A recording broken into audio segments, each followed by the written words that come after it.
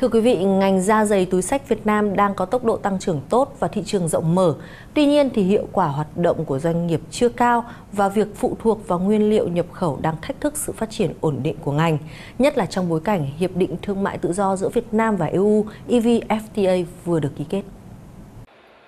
Xuất khẩu da dày, túi sách của Việt Nam đang đứng thứ hai thế giới với kim ngạch tăng trưởng 10% mỗi năm. 6 tháng đầu năm 2019, xuất khẩu sản phẩm giày dép, túi sách đã đạt trên 10 tỷ đô la Mỹ. Việt Nam cũng đang tận dụng tốt các cơ hội thuế quan từ Hiệp định Thương mại Tự do để thúc đẩy thị trường, trong đó tập trung vào Mỹ, châu Âu, Trung Quốc và Nhật Bản, nhất là khi Hiệp định Thương mại Tự do EVFTA vừa chính thức được ký kết vào ngày 30 tháng 6, thì các doanh nghiệp trong ngành da giày túi sách đều mong muốn đẩy mạnh xuất khẩu vào các thị trường nước ngoài.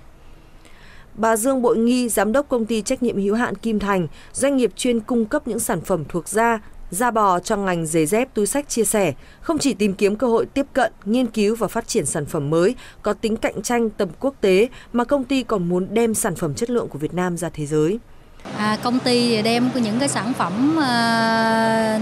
à, rất là nhiều dòng à, đến à, thị trường nhưng đó là trong đó có một cái dòng sản phẩm á, à, rất là đặc biệt là da ba tăng rất là mềm à, mình cũng muốn mang tới à, cái à, hàng chất lượng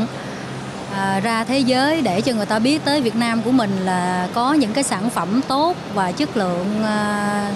Tuy nhiên, hiện 70% nguyên liệu da thuộc vẫn nhập khẩu đang là một thách thức không nhỏ cho các doanh nghiệp khi muốn tận dụng cơ hội từ Hiệp định Thương mại Tự do EVFTA và Hiệp định Bảo hộ Đầu tư giữa Việt Nam và EU. Đối với cái phần đông các doanh nghiệp và đặc biệt là các doanh nghiệp vừa và nhỏ thì cần phải có rất nhiều nỗ lực trong việc nâng cao cái trình độ quản trị, nâng cao cái công nghệ và tăng cường cái đầu tư để đảm bảo các cái điều điều kiện những cái tiêu chuẩn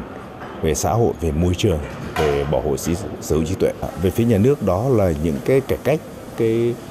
về hành chính tạo điều kiện thuận lợi hơn cho doanh nghiệp và cũng là những cái chính sách để thúc đẩy được cái phát triển công nghiệp hỗ trợ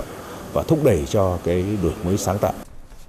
Theo các chuyên gia, doanh nghiệp da giày Việt cần nâng cao hiệu quả quản lý bốn nhóm chi phí lớn như vật tư, nhân công, quản lý tài sản và quản lý chung doanh nghiệp để cải thiện lợi nhuận. Đặc biệt, việc ứng dụng công nghệ, máy móc để tăng năng suất, chất lượng phải được coi là chìa khóa để ngành da giày tăng sức cạnh tranh, xuất khẩu sản phẩm giá trị thương hiệu chứ không gia công như hiện nay.